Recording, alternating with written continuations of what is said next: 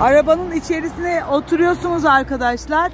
Arabanın içerisinde de e, koltuk ayarını yapacaksınız. Kemerinizi bağlayacaksınız ve ayna ayarını yapıyorsunuz. Araç içini de şimdi hocamız size tanıtacak. Önce e, debriyaja basıyorsunuz ve arabanızı çalıştırıyorsunuz start stopla. Daha sonrasından burada gösterge panelinde buradan Burada e, gösterge panelinde hemen sağda, direksiyonun Evet. sağında yakıt göstergemiz var. Hemen orta kısmında gösteriyor bak sıfır rakamı diye görünüyor. Hız kilometre. Hemen soldaki de devir saati. Hemen e, direksiyonun sol e, tarafında sağ sol e, sinyal kolu var. Hemen ucunda da farlarımızı e, yakıyoruz, kapatıyoruz. Hemen sağ tarafında da silecek kolu var. Ondan sonra e, aynalarımızı da hemen sol kapının üst tarafında görünüyor. Aynalarımızı buradan ayarlıyoruz. Camlarımızı buradan açıyoruz. Üste iç aydınlatmalar var. Bunları sınavda soruyor. evet Hemen ön panelde e, radyonun hemen üstünde dörtlü düğmemsi var. Ondan sonra klimalarımız buradan açılıyor. Arabamız 6 vites 5 ileri 1 geri. İki tane frenimiz var. Ayak freni ve el freni. aynen. Devriyaj fren gaz soldan sağ. Aynen hocam. Şimdi de e, güzel yaptınız. Sakin olacaksınız. Evet. Vitesinizi bir alıyorsunuz çıkarken. Bir de aldık. Sol sinyalinizi Sol veriyorsunuz. verdik. Ve El el frenini indirip artık Kontrol ayna edip- kontrolüyle Yarım devriyaj yapıp e, yarım debriyaj yapıyorsunuz. Ve yarım yarım debriyajı kesinlikle şeridin içine gireceksiniz. Direksiyonunuz düz olduktan sonra çekeceksiniz. Sakın pat diye çekmeyin. Çünkü debriyaj arkadaşlar motorun gücünü kesiyor ve yarım debriyaj az e, güç veriyor. Bir anda çektiğiniz zaman tekerleriniz bir anda hızlanıyor ve sizi öne atıyor. O yüzden şey, şeride girin ve ondan sonra yavaşça bırakın. Ve daha sonrasında müziğimizi de açtık Sinan hocamla. Kontrollü bir şekilde şeridinizde gidiyorsunuz ve e, yapmanız gereken şeritte tehlike var mı yok mu onu analiz ediyorsunuz. Sakinliğinizi koruyorsunuz. Panik yapmıyorsunuz. E, her modüle gittiğinizde uygularsınız. Şeritte giderken, yolda giderken diğer hamlenizi düşünmeyin. Onu düşünürken buradaki problemleri kaçırıyor oluyorsunuz. Zaten öğrenmiş oluyorsunuz parkta neler yaptığınızı. Parka gittiğiniz zaman onları düşünün. Siz seyir, seyir halinde düşündüğünüz zaman panik oluyorsunuz. Önünüze bir şey çıkıyor ne yapacağınızı şaşırıyorsunuz. O yüzden yolda giderken tehlikeleri analiz etmeye odaklanın. Takip mesafenizi koruyun. Ee, en önemli şeydir. Biz şimdi geldik şey yapıyoruz. Ee, park yapacağız arkadaşlar. Burada bir kavşak var. Kavşaklara hızınızı düşürüp girmek zorundasınız. 20 kilometre hız size yeter. Ee, ve şeridinizden girip şeridinizden döneceksiniz. Burada şerit ihlali yapmıyorsunuz. Ee, daha sonrasında buraya geldiğinizde bizim ilk park yerimiz var ve şeritten çıkacaksınız. Hemen ilk yapmanız gereken sağ sinyalinizi vermek. Sağ sinyalimizi verelim. Verdiğiniz hızınızı düşüreceksiniz. Debriyajınıza basıp frenle yumuşatıyor olacaksınız ve buradan karar vereceksiniz. Hangi dubaya gireceksiniz? Biz şimdi burada ilk dubaya giriyoruz ve dubaya yaklaşıyorsunuz. Burada dörtlerinizi yaktınız. Aynanızı ayarlıyorsunuz. Bu sağ ayna alt tekeri görecek şekilde ayarlayacaksınız. Ve arka tekerle dubanız yan yana geliyor ki orada çizgi de var zaten. Aynen.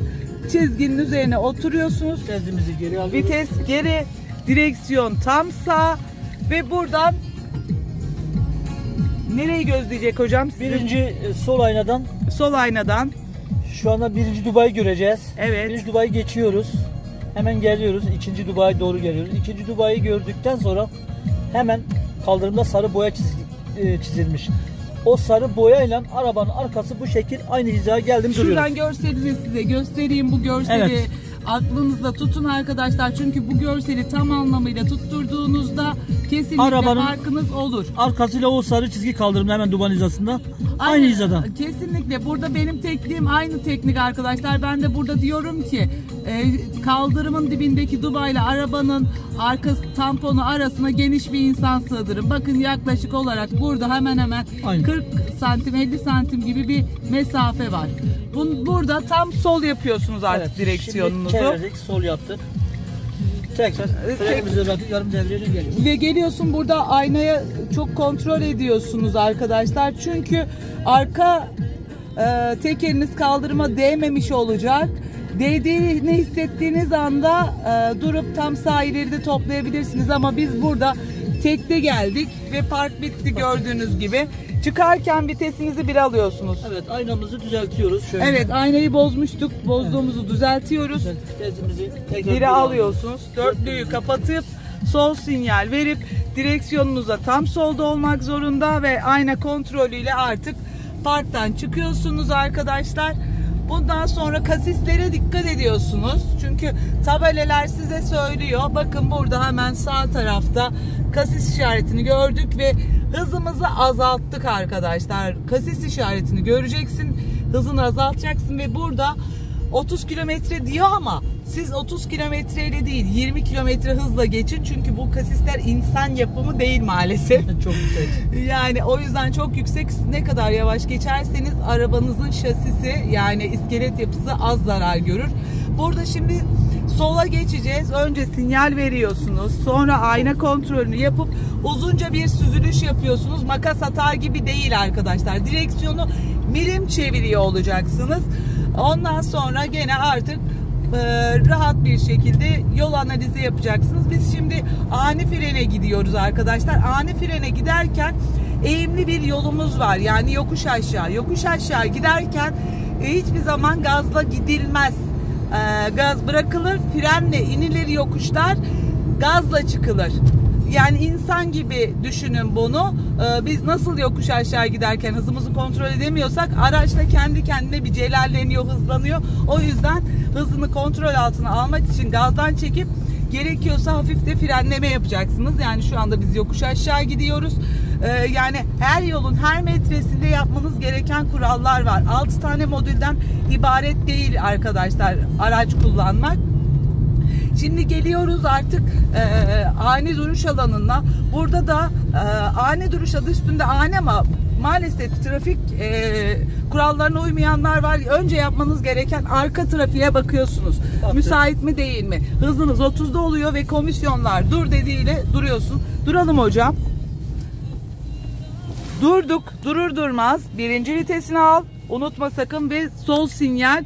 Daha sonra yol kontrolü ve Yarım devriyaj yap- yarım debriyaj ve gazla kalkıyorsunuz arkadaşlar. Burada birinci vitesi almamanız, iki ile kalkmaya çalışmanız sarı hatadır. Ee, bir doğru vitesle kalkmadığınız için sarı hata, ikinci de ikinci vitesteyken arabanız stop eder sarı hatadır. Buna dikkat edeceksiniz var. Burada bir de kırmızı e, hatamız vardır. Sinyal vermezseniz direkt sınavınız sonlanır arkadaşlar. Buna da dikkat edeceksiniz. Daha sonra biz şimdi geliyoruz. Burada U dönüşümüz var arkadaşlar. U dönüşü yaparken de size tek tek anlatıyorum.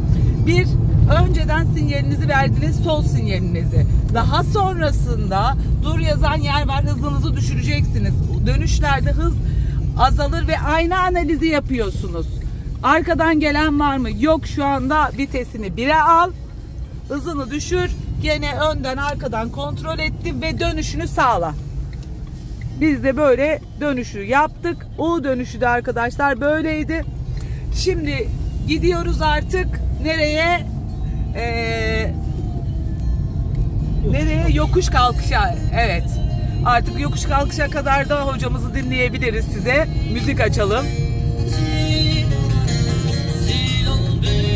Var ya Sinan hocamın öğrencileri ne kadar şanslı ya. Böyle bir ses sanatçısından ders almak. Vay be. Ha hocam. Bol bol şarkı türkü söylüyoruz. Aynen. Yani daha ne yapsın size? Stresinizi almak için sınavlarda dersen öyle.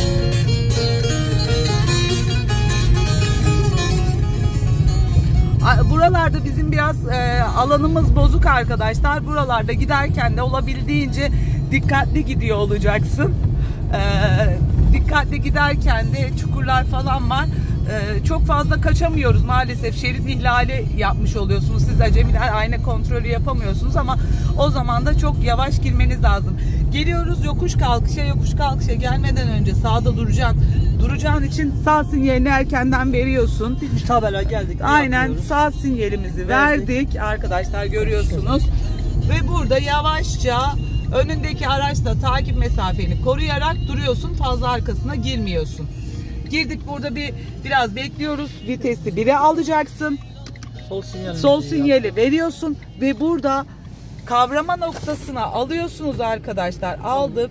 Gazın sesini ver, duyuyorsun, gidiyorsun ve araç hareket etmeden, biraz aracın gitmeden yarım debriyajdan çekme. Acele ediyorsunuz ve stop ediyorsunuz. Burada teknik nedir? Düz kalkma ile yokuş kalkma arasında fark yok. Sadece 3 saniyelik debriyaj tutma farkı var. Bunu da artık ayırt edin bir zahmet. Öyle değil mi hocam? Aynen aynen. Şimdi şeye geldik. 25 metre geri geri. gelmeye Gelme. gene ne yapıyoruz hocam? Sinyalimizi verdik. yaptık. Gene onun geri Gördüğünüz Sarı gelebileceği çizgiyi ortalıyoruz. sarı çizgiyi ortalayın. Şu çizginin ucunda duruyoruz. Evet. Öndeki araca da geri gelme mesafesini koyduk. Kapatıyoruz sinyalimizi. Dörtlümüzü yakıyoruz. Vitesimizi geri alıyoruz. Freni bırakıyoruz. Sadece devriyajla, yarım devriyajla dümdüz geliyoruz. Aynen arkadaşlar genellikle biz geri vitesi aldığımızda arabanın rölanti ayarıyla geri geri gideriz. Debriyajı kaldırdığınız kadar tekeriniz döner. Yani hızınızı ona göre ayarlarsınız. Çok kaldırırsanız çok hızlı Aynen. gider. Yavaş kaldırırsanız hızınızı kontrol edersiniz. Durduktan sonra tekrar vitesimizi aldık. Aynen Bire, bire aldım. Dörtlüğümüzü kapattık. Ve- Sol sinyalimizi yaktık. Evet. Tekrar ayna kontrolü yapıp yarım devriyaj yapıp gaza basıp gidiyoruz. Aynen arkadaşlar. Her seferinde sinyallere dikkat ediyorsunuz. Duruyorsanız duruş sinyali, kalkıyorsanız kalkış sinyalini, dönüş yapıyorsanız dönüş sinyalini vermek zorundasınız. Parklarda, geri gelmelerde dörtlüleri yakıyorsunuz ve yol tabelelerini okuyarak, takip mesafesine uyarak gidiyorsunuz arkadaşlar. Evet, biz gidiyoruz. Var ya hocamızın kıymetini bilin. Boşluk boşluk bulduğumuzda hemen Aynen. diyoruz ki öğrencilerimiz aman kalmasın derslerde stres yapıyorlar. Bir söylüyorsak beş söylüyorsak birini anlıyorlar dördünü stresten anlamıyorlar. Sakin sakin Yine dinlesinler hafta diye. sonu e, sınavımız var. Evet Sınava girecek öğrenciler için böyle bir şey yapalım dedik yine Sayın Hocamla. aynen. O yüzden biz sizin için çalışıyorsak burada boş zamanlarımızda çay kahve içmiyorsak siz de bir zahmet hocamızı yorum yapın. YouTube'da YouTuber edin. Sinek koçu. Aynen sinek koçu olarak takip edeceksiniz. Yorumda yapacaksınız. Yemin olsun söylemeyiz. Az öğretiriz hocam yorum yapmayanlara. Aynen. Şimdi geliyoruz artık gene e, trafik kontrolüne. Şerit değiştirmeleri yaparken de önemlidir. Ayna kontrolü yapmadan şerit değişimi yapmayacaksınız arkadaşlar. Sinyalinizi vereceksiniz arka trafiğe. Bakacaksınız buradan kontrollü bir şekilde ve şerit değiştirmeler uzun e, olacak. Kesinlikle dediğim gibi makas atar gibi değil. E, öyle değil mi hocam? Aynen. Biz geliyoruz artık nereye? Ee, L Park'a. L Park'a anlatacağız. Ondan sonra da artık sınavınız bitmiş olacak. Gene bir müzik.